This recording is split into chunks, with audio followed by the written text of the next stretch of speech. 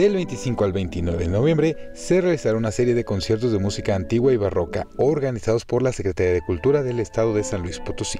El primero se realizó por parte de la Banda de Música de Gobierno del Estado en combinación con la ejecución de canciones en el Carrillón, ubicado en la Catedral, y tuvo como sede la Plaza de los Fundadores. El martes 26 se realizará el evento con la participación del Cuarteto Maestoso en el Museo del Virreinato. También la Orquesta Sofía Cancino tocará en la parroquia de San Miguelito.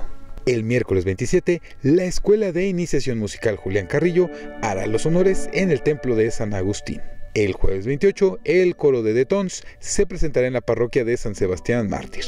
Camerata San Luis tocará en la parroquia de Nuestra Señora de Soledad. Y finalmente, el día viernes 29 de noviembre, el ensamble de la Orquesta Sinfónica de San Luis Potosí cerrará el evento en el Teatro de la Paz. Producción Osvaldo Martínez. Información Juan Carlos Contreras, Noticieros Canal 7.